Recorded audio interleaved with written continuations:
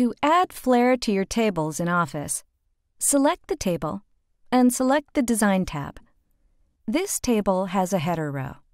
In Excel, you can add filters to the header row, making the content easier to sort. To add a totals row at the bottom of a table with numerical data, select Total Row. To make the first and last columns stand out with special formatting, select First Column and Last Column.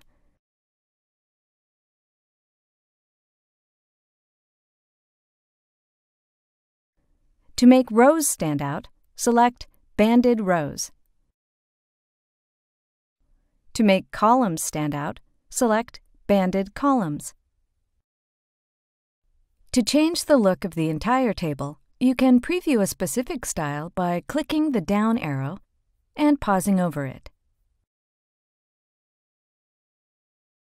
To apply a style, select it. You get different style selections based on the table style options you choose.